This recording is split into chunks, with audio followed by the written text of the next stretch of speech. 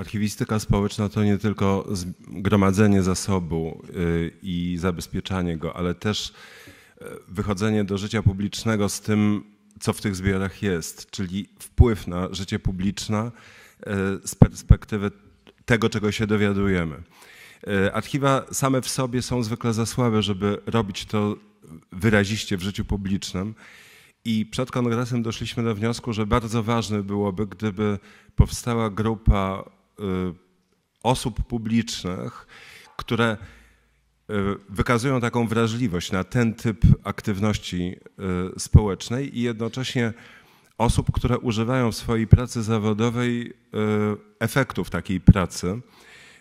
Zaprosiliśmy kilkanaście osób z różnych dziedzin nauki i właśnie takich wymiarów publicznych do tego, by nam wszystkim, całemu naszemu ruchowi towarzyszyły.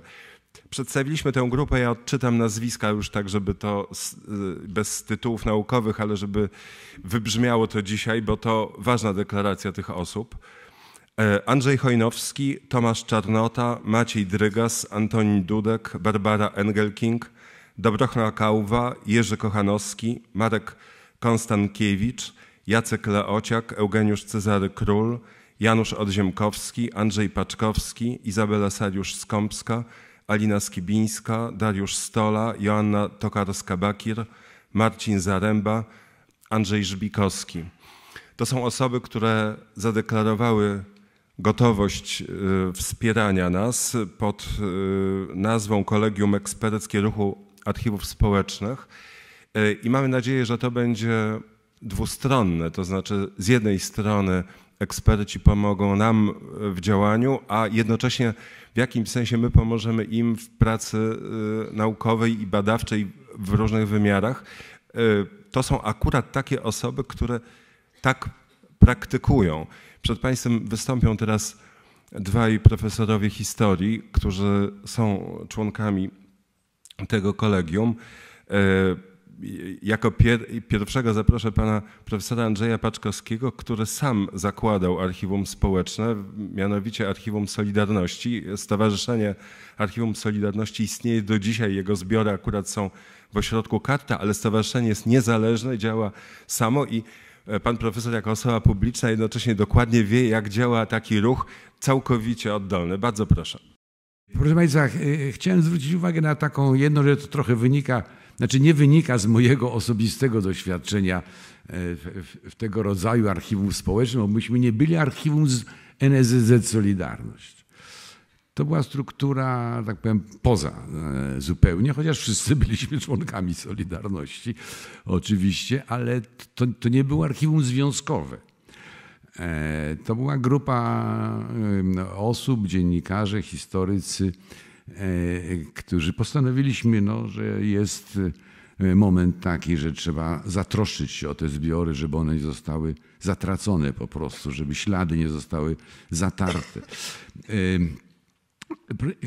także to, to moje doświadczenie jest dosyć, nie tak powiem, no, specyficzne. Nie, nie, nie, nie, nie, z trudem się przekłada na to, co, co, co państwo robi, co państwo interesuje, ale wydaje mi się, że takie E, chciałem zwrócić uwagę króciusieńko oczywiście na, na y, y, trzy jakby płaszczyzny czy trzy obszary funkcjonowania archiwum społecznego. Pytanie jest takie, dla kogo to jest y, robione? Więc wydaje mi się, że po pierwsze, to nie jest ranking, ale najpierw to wymienię. Po prostu dla samych archiwistów, dla tych, którzy zbierają. Że je, Y, wydaje mi się, że w momencie, kiedy Państwo y, prowadzący te, te archiwa przestaniecie się, tak powiem, pasjonować tym, to chyba trzeba zmienić, tak powiem, obszar działania, bo wydaje mi się, że akurat w archiwach społecznych to jest niezwykle istotne, że trzeba mieć, mieć poczucie osobistego zaangażowania. To jest dla mnie ważne. E, druga, drugi obszar to jest najbliższe środowisko. I to niezależnie od typu archiwum, myślę.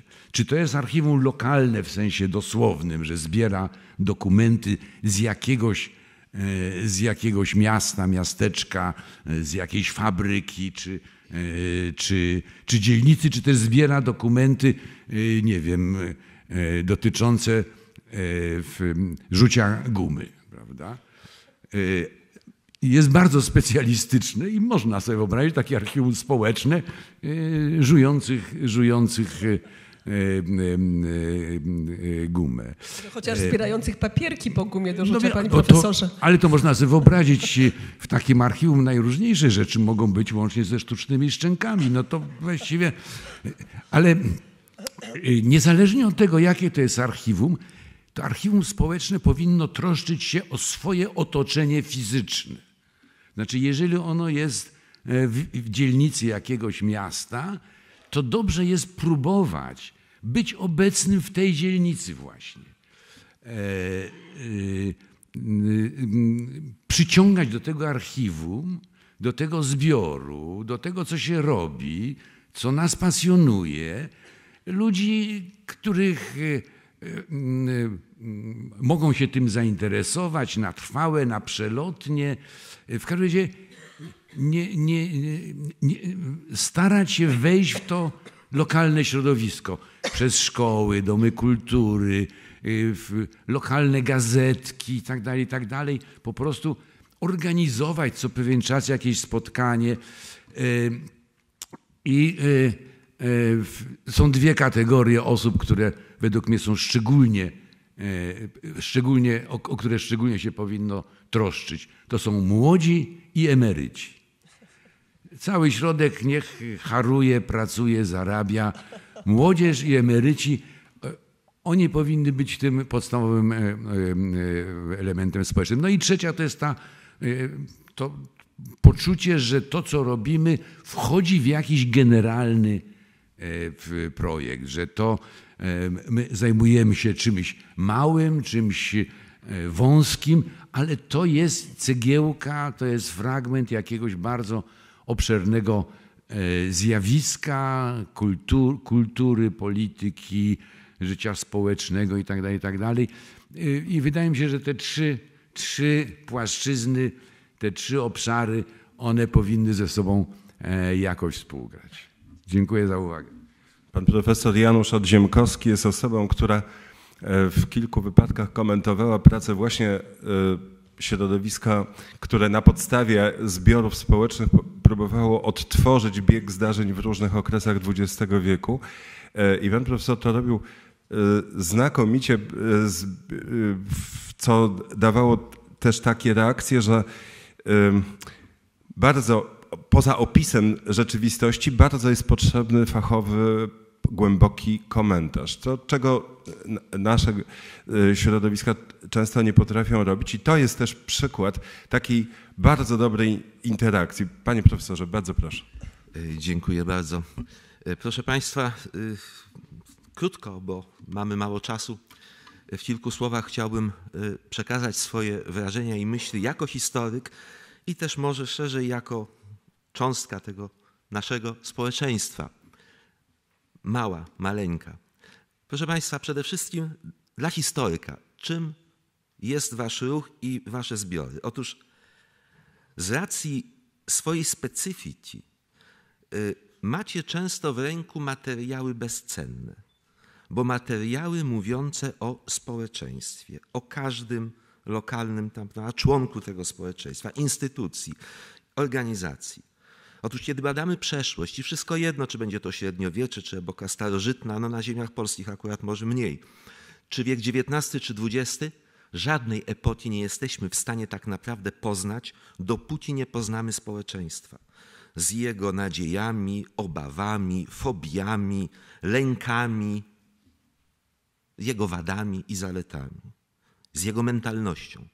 To jest dopiero punkt wyjścia do analizy zjawisk politycznych, gospodarczych, wojskowych i tu możemy całą paletę innych zjawisk jeszcze dać. Czyli poznanie człowieka pozwala poznać epokę, bo człowiek tworzy historię. Historia jest dziełem rąk i umysłów ludzkich. Bez tego historii dobrze nie poznamy. I to zawsze miejcie y, w świadomości, kiedy dotykacie nowego typu źródła. Ono może się wydawać mało istotne, a dla historyka badającego daną epokę, dane zjawisko bezcenne. Często będziecie mieli w rękach źródła, których archiwa państwowe nie posiadają, i tu już była wielokrotnie o tym mowa. Waszą wielką zaletą, i to, to trzeba wszędzie mówić, to jest to, że jest to wasza pasja. Wy tym żyjecie. I jeżeli coś jest robione z pasji, z zaangażowania wewnętrznego, nie jako praca zawodowa, gdzie zarabiamy pieniądze, najlepiej jak to się łączy, ale to nie zawsze jest możliwe, to wtedy daje to najpiękniejsze owoce. To dla historyka więc wy możecie być bezcennym źródłem informacji. Ale z punktu widzenia historyków, którzy badają przeszłość, co jest najważniejsze? Informacja o zasobie archiwalnym i dostępność do tego zasobu. A zatem, kiedy tak patrzę troszkę w przeszłość, ja wiem, że to już się dzieje, ale kiedy jeszcze w przyszłość wychodzę, tak mi się marzy, że kiedyś jak prawda, włączę prawda, coś tam w internecie na archiwa społeczne, będę miał przegląd, gdzie można sięgnąć w Polskę i znaleźć coś bardzo interesującego.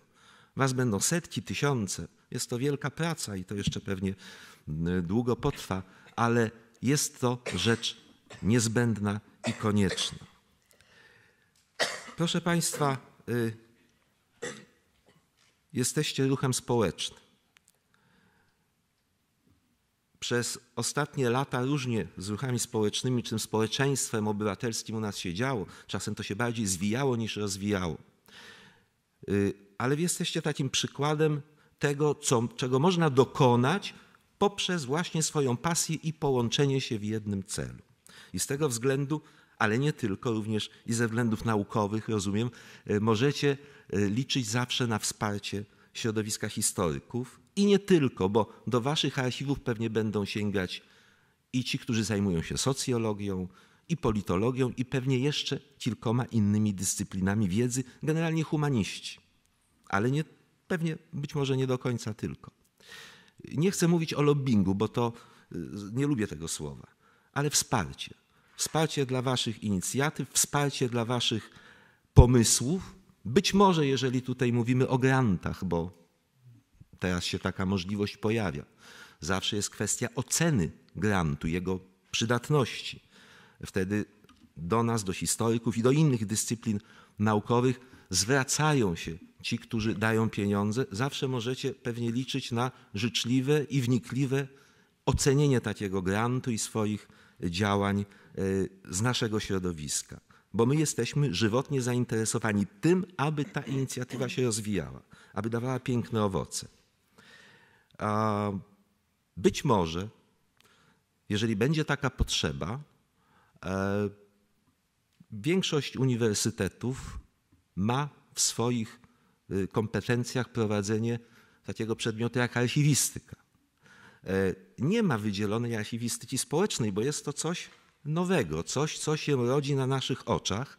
E, być może należałoby pomyśleć w przyszłości o jakimś wydzieleniu archiwistyki społecznej, jakiej pewnej specjalności e, w archiwistyce tej ogólnej. A być może, jeżeli będzie taka potrzeba, znowu wychodząc troszkę w przyszłość, e, będzie możliwe organizowanie czegoś w rodzaju kursów, e, które będą przygotowywać i pogłębiać wiedzę, która będzie przydatna archiwiście społecznemu, wiedzę specyficzną, bo nie tylko dotyczącą samych zbiorów i ich przechowywania, co jest też ważne, ale chociażby starania się o granty, chociażby znajomości przepisów, które umożliwią łatwiejsze łatwiejszy dostęp do tego rodzaju e, możliwości finansowych.